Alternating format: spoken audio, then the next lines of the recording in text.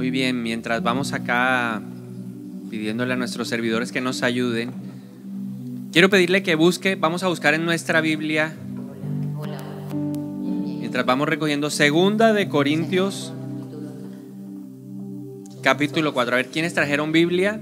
¿Quiénes fueron juiciosos? Puede sacar su celular, ahí está la Biblia. Segunda de Corintios, capítulo 4 versículo número 17.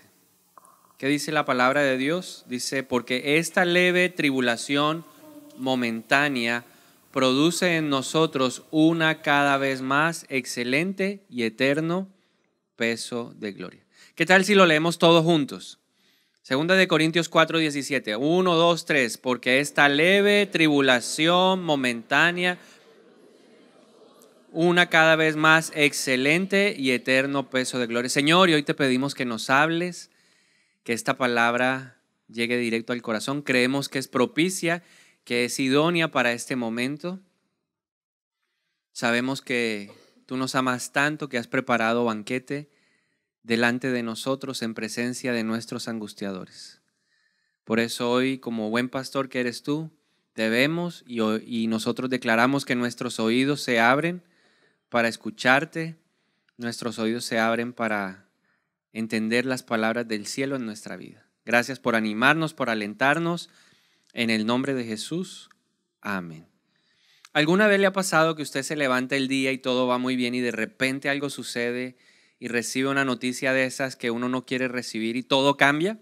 ¿Le ha pasado de pronto que usted está tranquilo en su trabajo o usted está camino a su trabajo, llega a trabajar y de repente el dueño de la empresa o su jefe lo llama a la oficina y le dice, bueno, muchas gracias por tu trabajo, pero hasta hoy estás con nosotros. Hace, un, hace una semana una persona me contaba que esa fue su experiencia en estos días. Él venía haciendo su trabajo bien, estaba contento, no tenía un solo llamado de atención. Y un día llegó a la empresa y le dijeron, no, no, antes de empezar a trabajar, vaya donde el gerente. Y el gerente le dijo, muchas gracias por sus servicios, pero hasta hoy está usted con nosotros. O tal vez usted está tranquilo en algún lugar, está en su casa, está en el trabajo o está en la calle y de repente recibe una llamada diciéndole que alguien que usted quiere o alguien a quien usted aprecia fue al médico y le dijeron que algo grave tenía. O tal vez usted está viendo una conversación o está escuchando una conversación de su familia y se entera así sin que usted se hubiera dado cuenta de que están en la bancarrota. Son cosas que pasan. inmediatamente cuando uno escucha una noticia de esas intempestivas, noticias que uno no está esperando, no sé si usted lo ha experimentado, a mí me pasa que cuando llegan esas noticias, ese choque emocional, siente como si uno estuviera cargando un edificio. ¿Cuántos han sentido ese peso como de 50 pisos inmediatamente y uno se abruma y uno se siente cargado, pesado? Eso que uno siente o eso que uno experimenta en esos momentos la Biblia lo denomina tribulación. Y de eso es lo que quiero hablarle en esta mañana. He titulado esta, esta palabra o este tema hoy, esta leve y momentánea tribulación. Esta leve y momentánea tribulación. Otros pasajes en la Biblia que nos hablan acerca de tribulación o de aflicción, que es una palabra similar a tribulación. Juan capítulo 16, versículo 33 dice lo siguiente. Estas cosas os he hablado para que en mí tengáis paz. En el mundo tendréis aflicción, pero confiad, yo he vencido al mundo.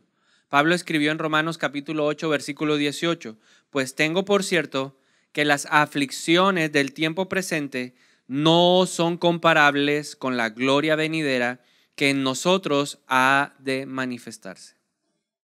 ¿Qué hay en el mundo? ¿Qué hay en el mundo? Aflicción. Mira el de y dígale, aflicción. ¿Qué es lo que hay en el mundo? Aflicción. ¿Qué es lo que vamos a encontrar constantemente en la vida? Tribulaciones, aflicciones. ¿Qué significan esas palabras? Vamos al griego, que fueron las palabras con las que se escribieron, y veamos qué significan. Juan 16, 33 y 2 de Corintios 4, 17 utilizan la misma palabra griega. Es la palabra diplysis. Y lo importante no es la palabra, lo importante es lo que significa significa literalmente presión que abruma. Y en este caso es una presión que abruma el espíritu. La palabra abrumar significa agobiar. Es decir, Cuando nosotros estamos llevando nuestra vida cotidiana y de repente llegan esas noticias adversas, esas noticias que uno no quiere escuchar o recibir, lo primero que se abruma es nuestro espíritu. Lo primero que se agobia es el espíritu. Por eso empezamos a sentir esa sensación como de vacío. Yo trato de describir lo que yo he, lo que yo he experimentado, como un vacío, como un peso, como algo que uno no puede llevar, porque el espíritu se abate, el espíritu se aflige, el espíritu se agobia. En Romanos 8:18, que es la otra palabra que usamos para hablar de aflicción, la palabra que utiliza Pablo es la palabra pátsema y se refiere al sufrimiento emocional. En otras palabras, la aflicción del mundo aflige nuestro espíritu, aflige nuestra alma, o sea, todo nuestro ser se afecta.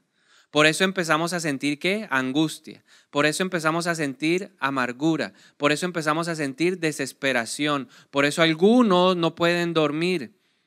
Porque todo se afecta cuando estamos enfrentando momentos de tribulación. Ahora, ¿qué debemos entender? Que la prueba, la tribulación, la aflicción tiene un propósito. Dios tiene un propósito con ella. Dios no permite nada. La Biblia dice que a los que amamos a Dios, todas las cosas cooperan para nuestro bien. ¿Usted lo cree? Una cosa es creerlo y otra cosa es vivirlo. Muchos se lo creen, el diablo cree, pero vivirlo es diferente. Entonces, a los que amamos a Dios, todo ayuda a bien. Y Dios espera que nosotros aprendamos a soportar la presión que el mundo tiene en nuestra vida. El mundo nos va a cargar porque es, parte de un mundo caído. Este mundo no era así. Dios no lo creó de esa manera. Esa no era la expectativa de Dios. Pero el pecado abrió las puertas para que el mundo ejerciera una presión sobre nuestra vida. Entonces Dios quiere que aprendamos a ser fuertes. Proverbios 24:10 dice que si nosotros fallamos bajo presión es porque nuestra fuerza es escasa. Entonces nosotros tenemos que ser testimonio para las personas que están enfrentando tribulación.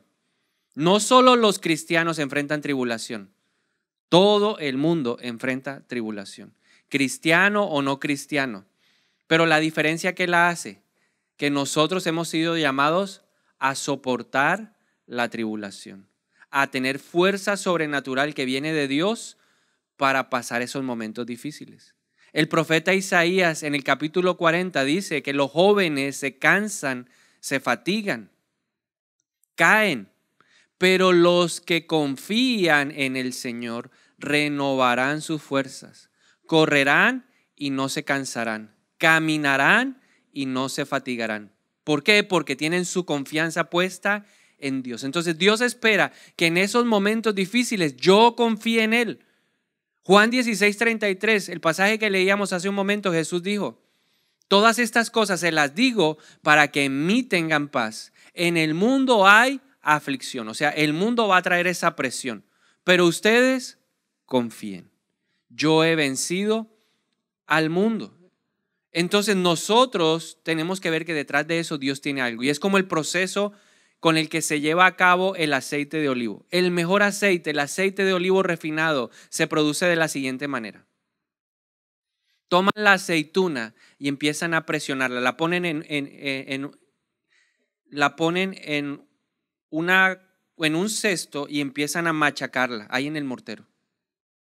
Eso hacen con la aceituna. Entonces empiezan a sacar el aceite la machacan, pero ahí no termina. Luego de que ha sido machacada en el mortero, la exprimen nuevamente en otro cesto con una piedra, porque empiezan a presionarla con una piedra. Y así sacan el mejor aceite de olivo.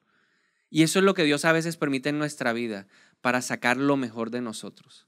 Te aseguro que esta leve y esta momentánea tribulación va a sacar lo mejor de ti. ¿Cuántos lo creen?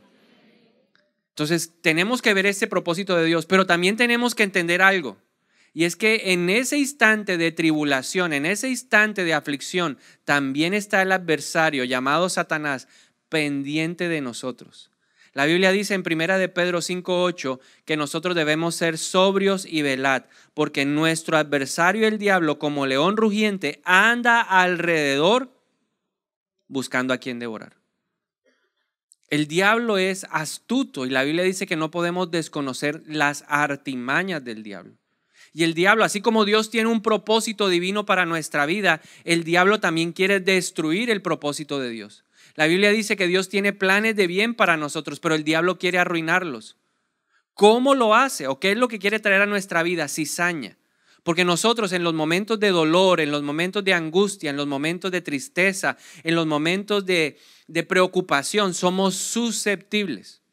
Y no sé si a usted le ha pasado, pero cuando uno recibe una noticia de esas o cuando uno está atravesando estos momentos de tribulación, el espíritu se abate a tal punto, está tan acongojado que a uno le cuesta orar.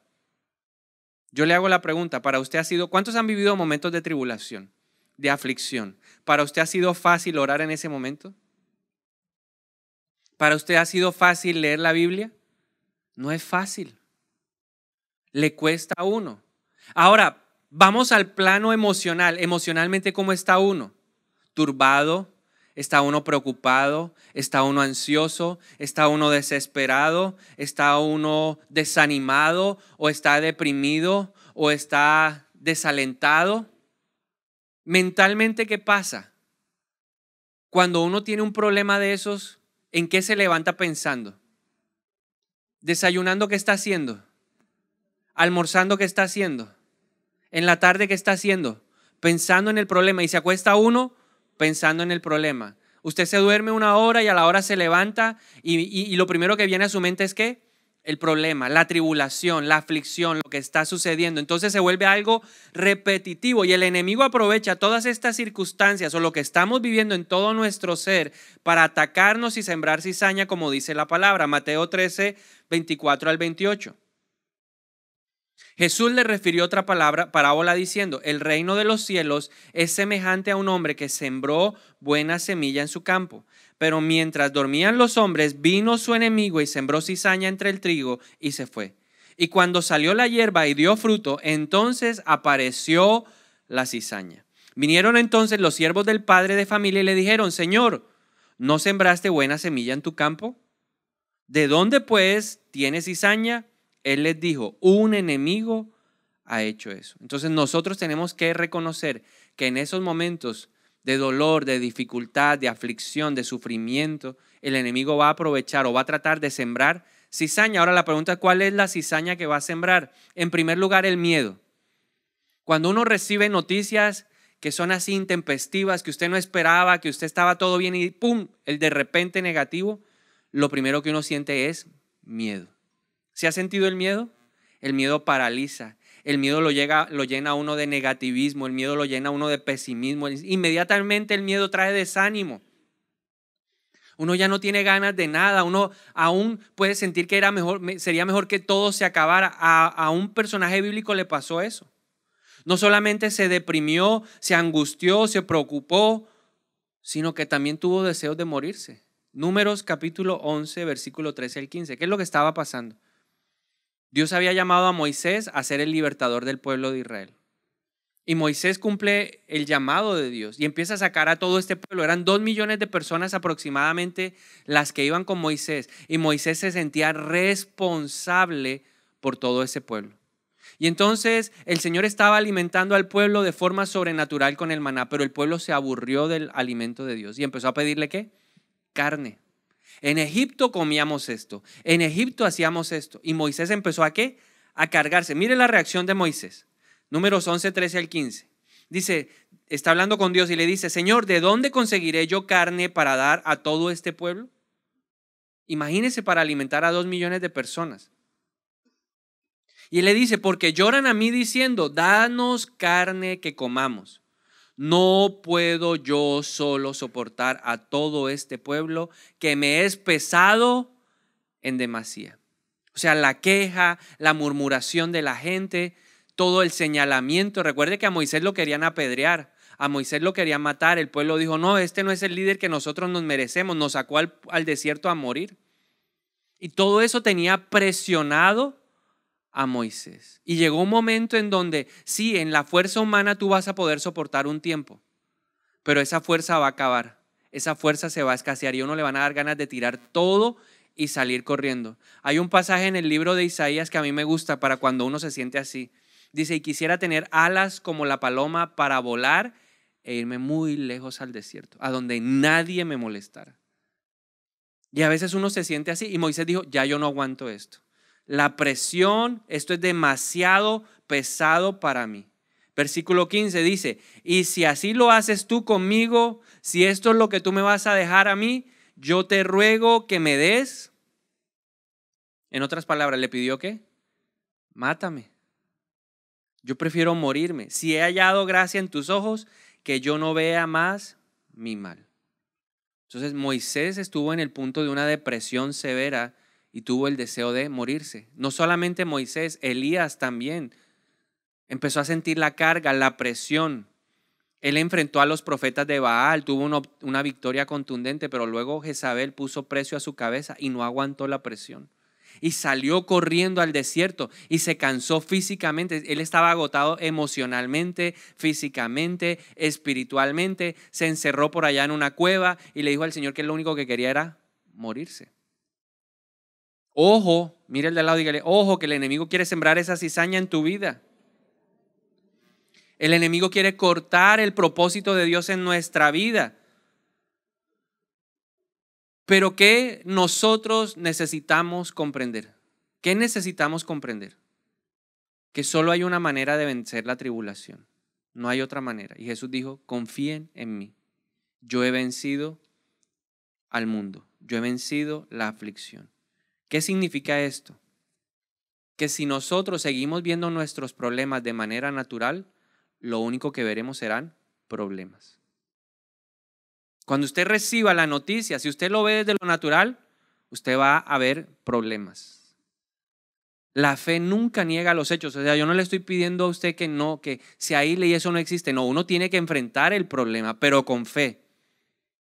El problema va a llegar, la mala noticia va a llegar, la aflicción va a llegar, el dolor va a llegar, el sufrimiento va a llegar el abatimiento a su espíritu se va a manifestar, el agotamiento, el agobio, eso va a llegar, eso es una realidad.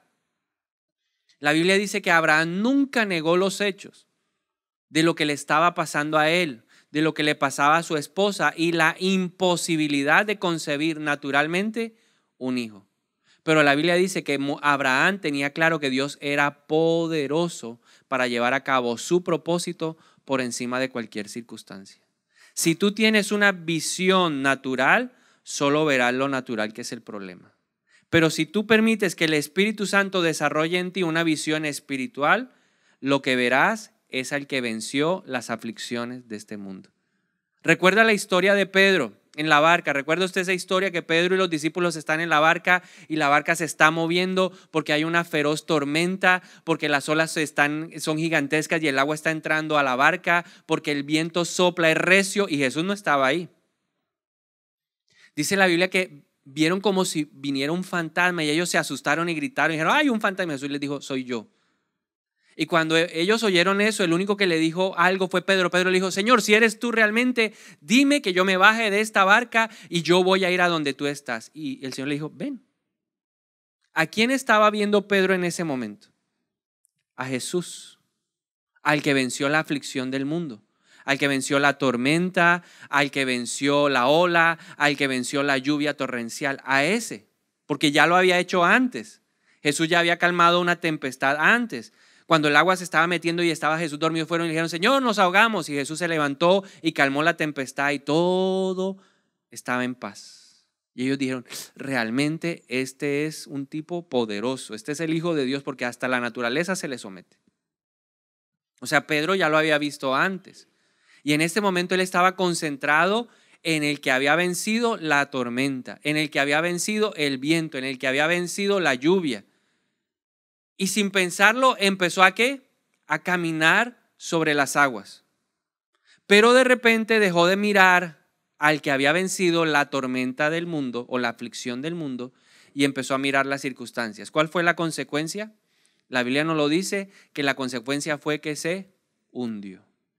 Tú y yo, para vencer la aflicción o para pasar la tribulación de este tiempo presente, lo que hoy estamos viviendo, necesitamos poner nuestra mirada o tener una visión espiritual para mirar al que venció la aflicción del mundo.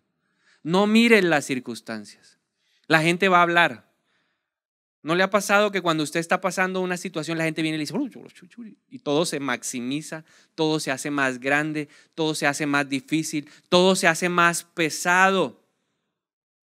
Entonces nosotros necesitamos desarrollar visión espiritual. La Biblia dice que el que es espiritual lo discierne todo. El natural, cualquier cosa le parece locura. La pregunta es, ¿cómo desarrollar una visión espiritual en medio de la tribulación? Aprendiendo a ver a Dios como es Dios. Creyendo que Dios es lo que Él dice que es en su palabra. El Salmo 3 nos deja ver una manera como nosotros necesitamos ver a Dios. ¿Qué estaba pasando en el Salmo 3? ¿O por qué se escribe el Salmo 3? El Salmo 3 fue escrito por David. La mayoría de salmos fueron escritos por el rey, de experiencias personales. Pero específicamente en el Salmo 3 estaba viviendo un tiempo de tribulación. Solo piense esto, para los que son papás, piensen esto, lo duro, de que su hijo se levante en contra suya y quiera ir a matarlo. ¿Cuántos soportarían eso? A ver, levante la mano el papá que soportaría eso. Ninguno. Porque uno ama a su hijo con un amor especial, es un amor tan profundo. La Biblia dice que los hijos son la bendición de Dios para nuestra vida. Entonces imagínese algo que uno considera o a alguien que uno considera una bendición, ahora se convirtió en el peor enemigo.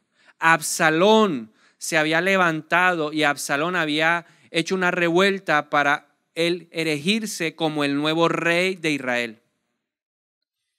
Quería quitarle el puesto a papá y lo logró. Entonces David tiene que empezar a salir de Jerusalén y en medio de ese dolor que su hijo le había quitado el reino, y fuera de eso, sabía que lo iba a perseguir porque en esa época el que se levantaba tenía que acabar con el que estaba, porque si no, en algún momento podía regresar y lo iba a aniquilar a él. Entonces, Absalón sabía que lo que tenía que hacer era salir a destruir a su papá y a todos los que estaban con él.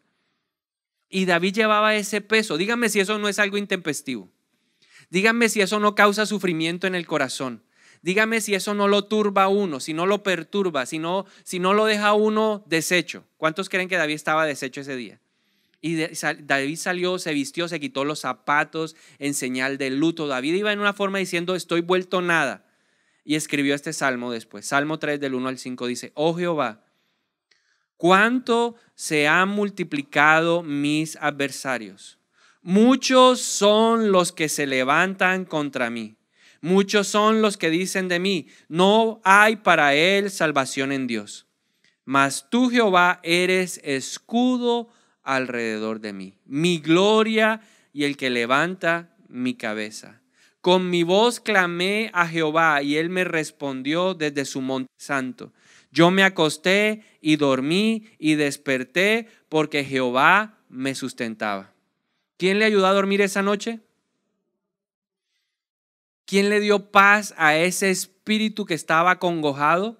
¿Quién le dio paz a unas emociones que lo perturban? ¿Quién le dio paz a esa mente que coge ese pensamiento y lo vuelve repetitivo, obsesivo y que se vuelve uno como una vaca, lo machaca, lo machaca, lo machaca y lo tiene uno aquí, aquí, y está comiendo, está hablando y todo, todos los temas giran en torno a eso? Dios.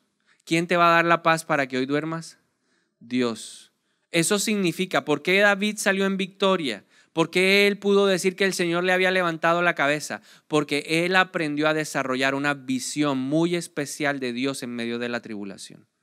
Cuando tú estés pasando tribulación, necesitas aprender a ver a Dios de una manera diferente.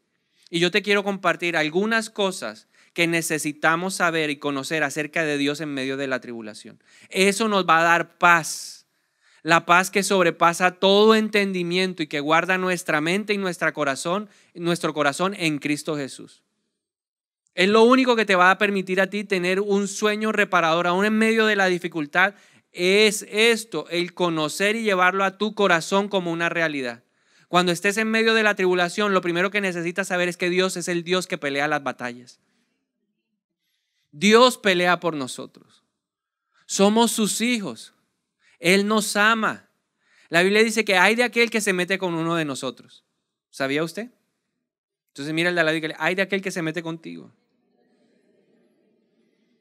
En segunda de Crónicas 32.8, el rey de Asiria tenía sitiada a la ciudad de Jerusalén. Y entonces el rey de Asiria mandaba a sus mensajeros a hablar con el pueblo y hablar con el rey y tenían asustados a todas las personas. Pero el rey Ezequías dijo esto. Segunda de Crónicas 32.8 dijo, con él, o sea, con el rey de Asiria, está el brazo de carne. Mas con nosotros está Jehová nuestro Dios para ayudarnos y pelear nuestras batallas. ¿Quién está contigo para pelear la batalla? No es el de carne, no es cualquiera. Es el que hizo los cielos y la tierra. Es el que entregó su vida en la cruz por ti y por mí. En eso está demostrado el amor de Dios por nosotros, en que siendo nosotros pecadores, entregó al que no había hecho ningún pecado a Jesús. Entonces, Él es el que va a pelear por nosotros. Y dice la Biblia, y entonces el pueblo tuvo confianza. Aunque tú no lo veas y aunque uno a veces no dimensione lo que pasa en el mundo espiritual, apenas se activa la tribulación en nuestra vida, Dios se levanta a pelear la batalla. Dios no se queda quieto. Dios no está mirando ahí a ver qué es lo que pasa, cuál es la reacción de ese. No, porque se están metiendo con uno de sus hijos. ¿Cuántos no saldrían a, defender a uno de sus hijos? si alguien les estuviera haciendo algo? ¿Cuántos no se levantarían? O más bien, ¿cuántos se van a levantar si a su hijo le hacen algo? Uno sale corriendo y sale a defender porque él, como buen padre, va a pelear la batalla. Así que usted tiene que estar convencido que en medio de la tribulación, ¿quién va a pelear la batalla? Dios. ¿Qué más dice la Biblia? ¿O qué más necesitamos entender? Que Dios es nuestra defensa. Dios se va a levantar y nos va a defender. Salmo 31, 2, David dice, inclina a mí tu oído, líbrame pronto. Sé tú mi roca fuerte y fortaleza para salvarme. Sálvame, Señor. Sálvame. Si usted está hoy en medio de la tribulación, usted puede gritarle a Dios que, sálvame, porque Él es nuestra defensa. Líbranos. A mí me gusta esto que dice David, líbrame pronto. Yo no sé si usted quiere hacer esa oración hoy, pero yo sí la quiero hacer. Señor, líbrame pronto de esta tribulación, líbrame, que yo pase rápido esto. Que sea como en un abrir y cerrar de ojos. ¿Cuántos quieren cerrar los ojos y abrirlo y ya pasó la tribulación? ¿Sí? ¿Cuántos lo quieren de verdad? No lo noto muy animado, no hay un amén, amén, amén. ¿Cuántos lo quieren? Amén. ¿Cuántos lo quieren que pase así? Entonces dígale al Señor, líbrame pronto. Porque yo creo que Dios está viendo y dice, bueno, vamos a ver la como ese deseo, el ¿Cuánto le... Amén. No, dígalo con ganas, porque eso es parte de qué? De la fe. La fe sin obras es una fe muerta. Entonces yo tengo que demostrarle al Señor que yo quiero que Él me libre pronto. ¿Qué más debo entender? Que Dios es mi fortaleza. Y la fortaleza tenía algo muy especial. Las fortalezas en el tiempo, en el tiempo de David eran protección se levantaban fortalezas en las ciudades para defenderla de esos ataques de, los enemigos. Se construían en lugares muy estratégicos, en lo alto de la ciudad, donde casi que la entrada del enemigo fuera imposible. Pero eran lugares para salvaguardar y proteger la vida de las personas que estaban en este lugar. La ciudad estaba dentro de la fortaleza. La ciudad estaba dentro de las murallas. Entonces David escribe en el Salmo 18.2 lo siguiente, Jehová, roca mía y castillo mío, mi libertador. Dios mío, fortaleza mía, en él confiaré. Mi escudo y la fuerza de mi salvación, mi alto refugio. O sea, ¿a quién puede correr, dice la Biblia, en tiempos de necesidad? A Dios. Y por eso Dios se llama torre fuerte, torre inexpugnable para el enemigo. Si yo me refugio en esa, en esa fuente, si yo busco la presencia de Dios y le digo, Señor, sé tú mi fortaleza, Él me va a guardar para que el enemigo no siembre la cizaña que Él quiere sembrar en mi vida. Él es el que me va a guardar para que el miedo no llegue a mí. La Biblia dice que Dios no me dio espíritu de temor o de cobardía. Él me dio un espíritu de poder, de amor y de dominio propio. Pero ¿dónde lo encuentro? En Él, que es la fortaleza. Si yo corro a la gente, si yo busco a la gente, la gente no me va a dar fortaleza.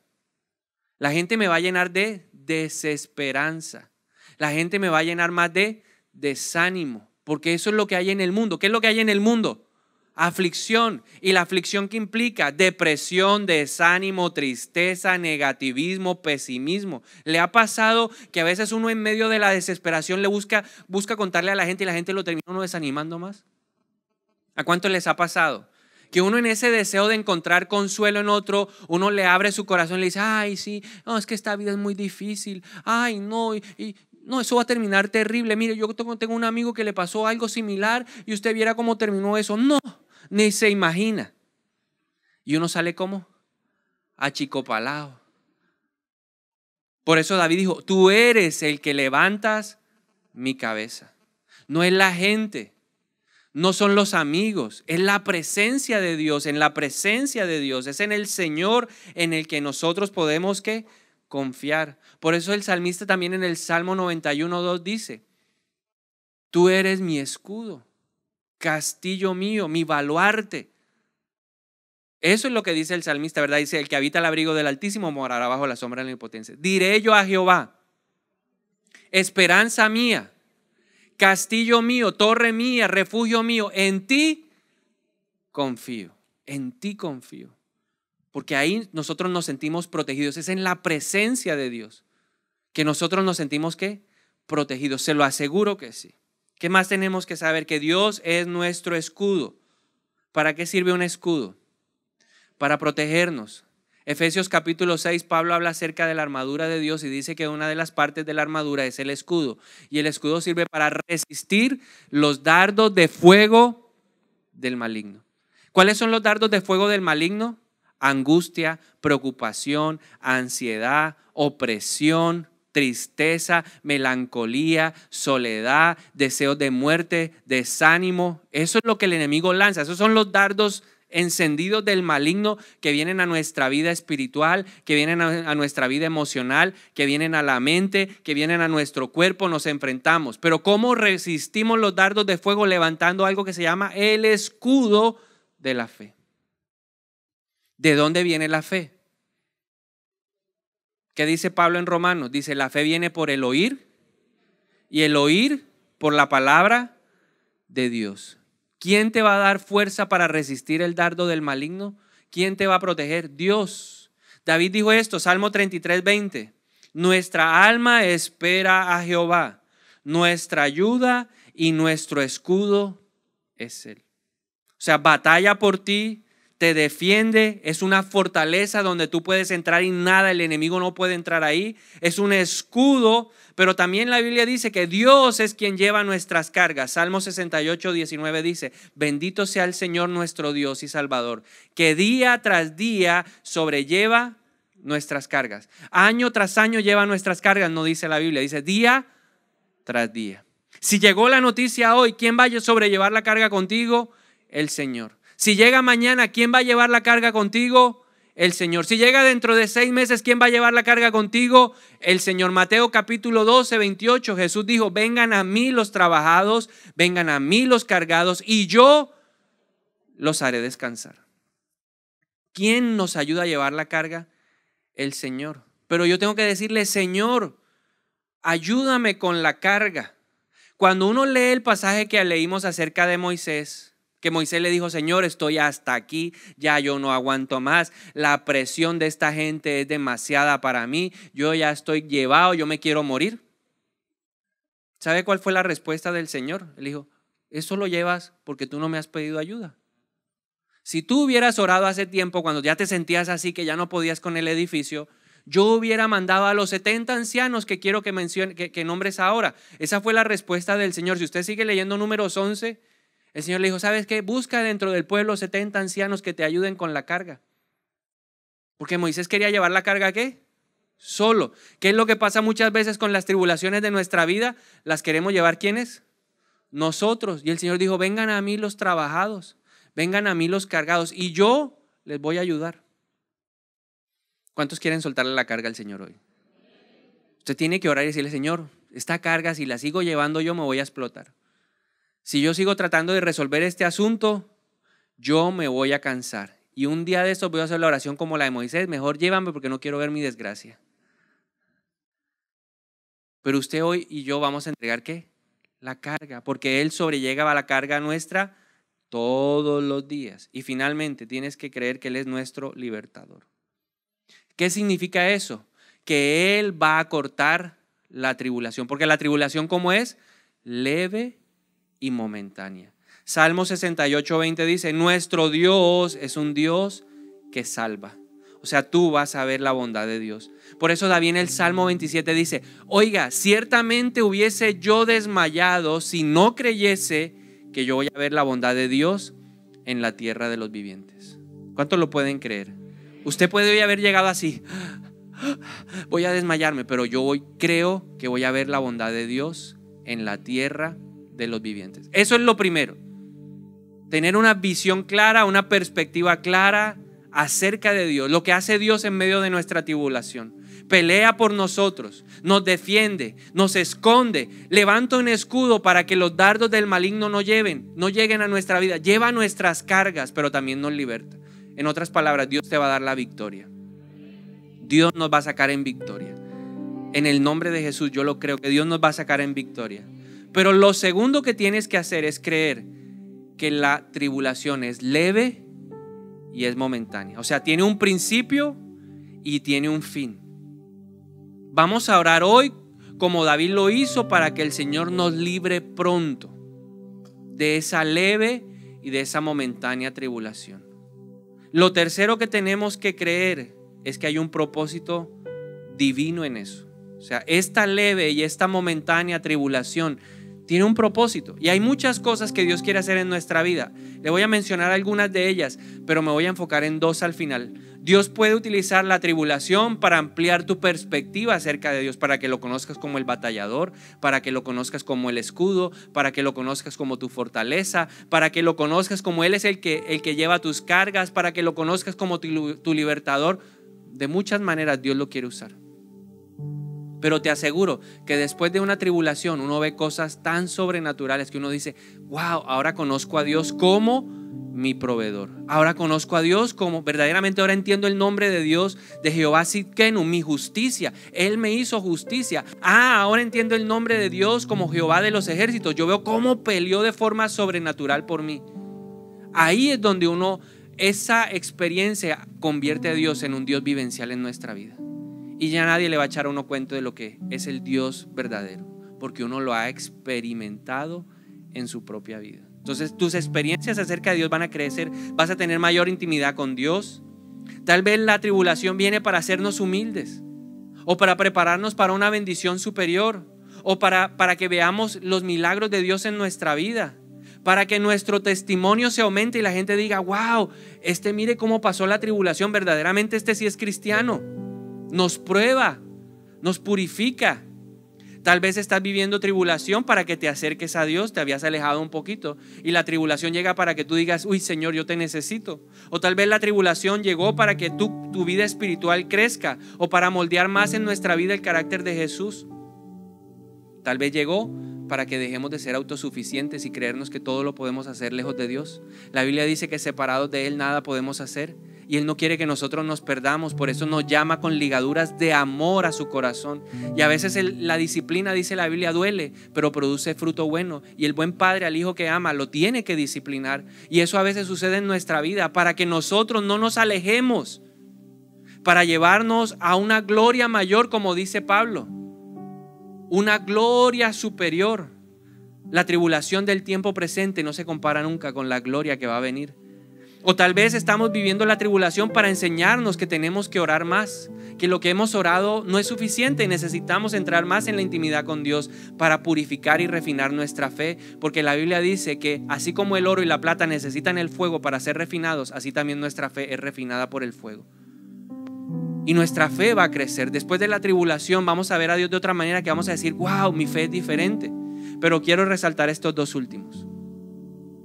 Número uno, la tribulación viene a nuestra vida para recordarnos que somos frágiles. Tú y yo somos simples vasijas de barro. ¿Qué hace el dolor en nuestra vida? Recordarnos que somos qué? Débiles. Somos débiles. Nos duele este un uñero. Un dedito y eso le duele a uno y uno no puede casi ni caminar. Pero Dios nos dice, ¿sabes que La tribulación viene para que tú te acuerdes que eres polvo, no eres nada, eres frágil, la fragilidad de la vida. Cada vez que yo enfrento una tribulación digo, Señor, no soy nada, ¿verdad? Que porque uno a veces piensa, ¿no? Ya pasé esta tribulación, yo creo que después de esta pues, yo soporto cualquier cosa y viene otro golpe y uno dice, "No." Yo pensé que era poder, ya, había pasado todo, pero no, siempre uno termina qué? Atribulado, uno termina sufriendo. Unas son de una cosa, otras son de otra cosa, y aunque, aunque uno piense que ya pasó, uno dice, no, ya yo viví lo peor. Yo decía, perder un hijo es lo peor.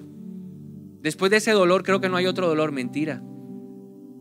Porque todos los dolores son diferentes. Y lo golpean a uno y uno dice, uy, también me dolió. Y esta tribulación también me dolió. Y es Dios diciendo, ¿sabes qué? Eso es para recordarte que tú eres frágil y que me necesitas a mí. Y número dos,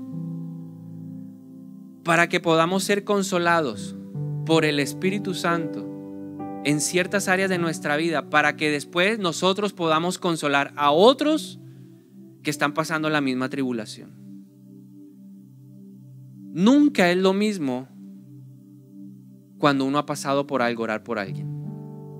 La gente puede venir a donde uno y decirle, ay, mire, tengo un problema financiero. Y si uno nunca lo ha vivido, uno ora, Señor, por favor, ayúdalo en su problema financiero. Pero cuando uno lo ha pasado y cuando uno sabe lo que es no tener para pagar la luz, el agua, el gas, cuando lo están llamando de todos los servicios para uno decirle, le voy a cortar aquí, usted me debe allá, uno siente el dolor de la persona o no. Es diferente. Es diferente cuando a uno le dicen, ah, ¿será que puede orar por mí porque acabo de perder a un ser querido? Si usted no ha perdido hace mucho tiempo un ser querido, uno como, ah, sí, vamos a orar, mis, mis, condolencias, de verdad que estamos contigo. Pero cuando uno ha sentido ese dolor, uno que se identifica. Y uno sabe el vacío que hay en el corazón, uno sabe lo que la otra persona está viviendo. Y uno quiere darle de lo que Dios ya le ha dado a uno, de la medicina que se llama consolación. Por eso la Biblia dice, donde tú has sido consolado, Dios te llama a consolar a otros. Por eso viene la tribulación. Porque en la tierra tú y yo hemos sido llamados a ser los brazos del Señor. Nosotros hemos sido llamados a llevarle sanidad a la tierra. ¿Quién va a hablar la palabra si no somos nosotros? ¿Quién va a decirle a la gente que Dios los ama si no somos nosotros? Por eso Pablo escribió lo siguiente, segunda de Corintios capítulo 1, versículo 3 al 4. Él dijo, toda la alabanza sea para Dios, el Padre de nuestro Señor Jesucristo, que Dios es nuestro Padre misericordioso y la fuente de todo consuelo. Él nos consuela en todas nuestras dificultades. En la que tú traes, en la que tú traes, en la que tú traes y en la que yo traigo. Él nos consuela en todas nuestras dificultades, para que nosotros podamos consolar a otros. Cuando otros pasen por dificultades, podremos ofrecerles el mismo consuelo que Dios nos ha dado a nosotros. Amén. Entonces hay muchos propósitos, pero Dios quiere llenarte de consuelo para que tú salgas por esta tierra de montería, para que llegues a tu casa, a tu vecindario, a donde tus amigos, a donde tus enemigos, a brindarles qué? consuelo. Y entonces el Señor nos dice, si aprendes a pasar la tribulación, que es leve y momentánea, de mi mano, experimentarás algo. como lo dijo Pablo? Un mayor peso de la gloria de Dios. Como lo dijo David? El Señor levantará tu cabeza. Ahora, la palabra que utilizó Pablo para gloria significa o denota honra. O sea que cuando tú aprendes a pasar la tribulación de la mano de Dios o de la mano de Jesús, que fue el que venció al mundo, Dios te va a honrar. ¿Estás preparado para que Dios te honre? ¿Cuántos quieren la recompensa de ser honrados? Entonces hay que aprender a pasar la tribulación de la mano de Dios. En esta mañana yo quiero orar de manera muy especial por aquellas personas que hoy están pasando tiempos de tribulación. Si usted no está pasando tiempos de tribulación, se puede quedar sentadito y me ayuda a orar, porque como usted ya ha sido consolado, me va a ayudar a consolar a los que están pasando problemas. a los que están pasando dificultades económicas o, financieras o personales o familiares o laborales, que ya no aguantan la carga, que le están diciendo, Señor, yo no aguanto más la carga, esta cosa está demasiado pesada, ya yo no sé qué más hacer, yo estoy desesperado. Yo estoy que tiro la toalla. Si usted es uno de esos, yo le voy a animar a que se ponga de pie. Y yo quiero orar por usted hoy. Quiero orar por usted hoy. Si usted está así ya, que quiere tirar la toalla, dígale, Señor, yo estoy que tiro la toalla.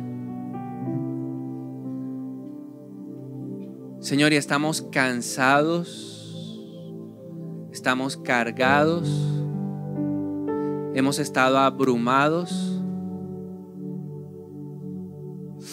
ha llegado agonía a nuestro espíritu, estamos sufriendo emocionalmente, hay una opresión en nuestra mente, Dios, que no nos deja descansar. Aún tal vez hay dificultades en nuestro cuerpo, hay enfermedades, y por eso hoy venimos a ti, Señor. Estas cosas les hablo para que en mí tengan paz. En el mundo hay aflicción. Señor, y hoy reconocemos que en este mundo hay aflicción. Reconocemos que este mundo es especialista en golpearnos. Que este mundo es especialista en abatirnos, en llenarnos de sufrimiento, de padecimiento, de dolor. Señor, reconozco que por no estar preparado, mucha cizaña ha entrado a mi vida. Y usted cuéntele a Dios que haya en su corazón, dígale, Señor, tengo miedo. Señor, estoy angustiado. Uf. Dios, estoy tan preocupado. Hay tanta ansiedad dentro de mí. Aún si está amargado, dígale, Señor, esto me tiene amargado. Estoy resentido. Estoy negativo, pesimista.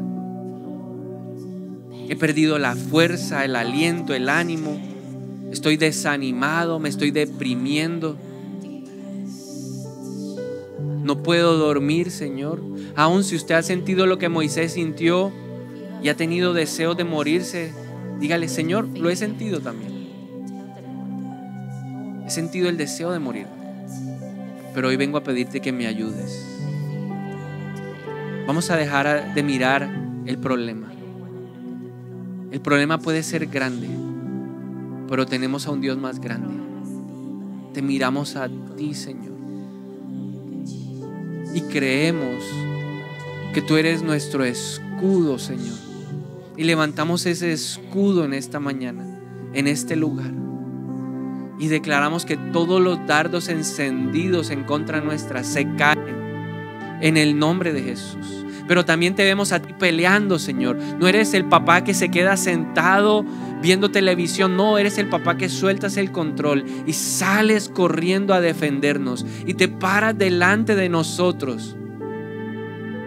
Porque tú eres el poderoso gigante que camina delante de nosotros. Y así te veo en esta mañana, Señor, en medio de mi dificultad, en medio de mi problema, en medio de mi sufrimiento, en medio de mi angustia. Clamé yo a Jehová, grité yo a Jehová. Ayúdanos, Señor. Y pídele hoy a Él, por, porque Él es el Salvador que te libre. Dile, líbranos, Señor. Líbranos del lazo del cazador. Líbranos de la peste destructora. En el nombre de Jesús. Tú eres nuestro castillo. Diré yo al Señor. Esperanza mía, castillo mío, en ti, Señor. Yo confío en esta mañana. En el nombre de Jesús, defiéndeme, inclina tu oído, Señor, y líbranos pronto de esta momentánea y de esta leve tribulación. Sé nuestra roca, sé nuestra fortaleza para salvarnos. Y pídele a que te ayude a llevar la carga. Yo no puedo solo con esto. Este problema me va a destruir. Pero tu nombre es el Todopoderoso. Quítate ese peso. Deja que Jesús lo lleve. Él ya lo venció. Entrega esa carga, dile Señor, ayúdame. Sé humilde y dile, ayúdame. Ayúdame, Señor. Y libérame porque tú eres el Dios que salva. Cumple tu propósito en mí, Señor. Y levanta alto tus manos. Si estás pasando ese problema y recibe hoy del consuelo.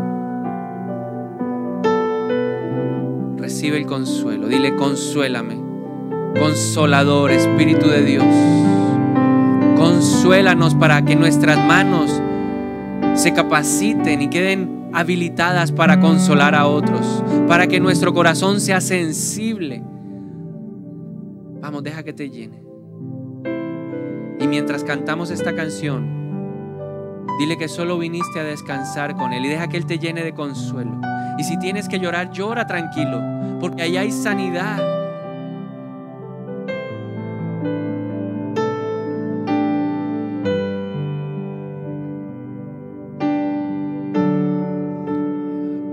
Para ti